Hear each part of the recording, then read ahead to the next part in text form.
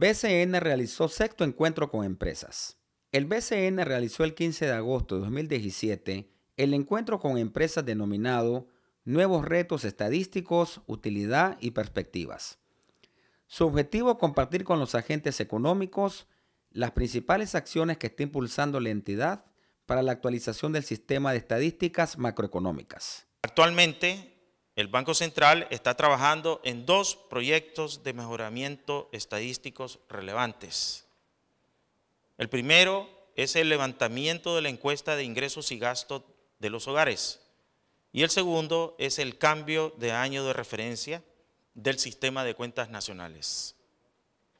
El desarrollo de la encuesta de ingresos y gastos de los hogares 2017-2018 inició en abril del año 2017 y tiene como objetivo obtener información sobre la estructura de los ingresos y gastos, que redefinirá una nueva base de ponderaciones para el IPC o índice de precios al consumidor.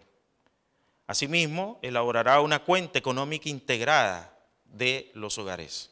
Por su parte, el cambio de año de referencia de las cuentas nacionales, que actualmente se ubica en el año 2006, será actualizado al año 2018, lo que conllevará un esfuerzo de medición que tomará al menos tres años para incorporar las nuevas actividades económicas, estructuras de costos, rentas y valor agregado que ahora se presentan en nuestra economía.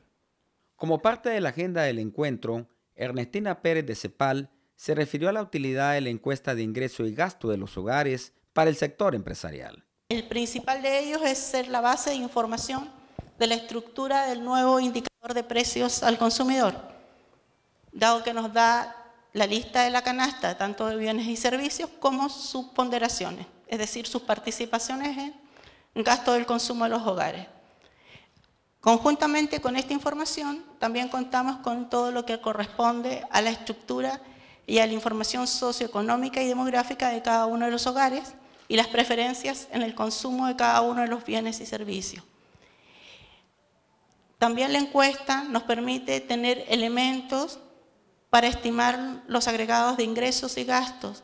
Asimismo, los empresarios conocieron los avances en la recopilación de información para poder cambiar el año de referencia de las cuentas nacionales. Vamos a tener disponible un conjunto de información que no se elabora todos los años, ni todos los meses, ni cada dos años, sino que vamos a tener información como por ejemplo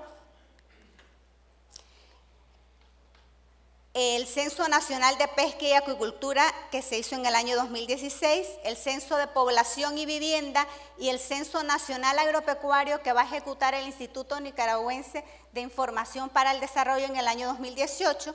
Adicionalmente tenemos disponible también la cartografía digital y el Censo de Edificaciones 2014-2017. Vamos a tener disponible también nuevos clasificadores de productos y actividades económicas Vamos a tener también disponible en el año 2019 los resultados de la encuesta de mediciones del nivel de vida. El próximo año también tendremos disponible los resultados de la encuesta de ingresos y gastos de los hogares. El BCN ha promovido desde 2012 esta actividad con las empresas que contribuyen a la generación de información económica que se publica periódicamente desde la institución.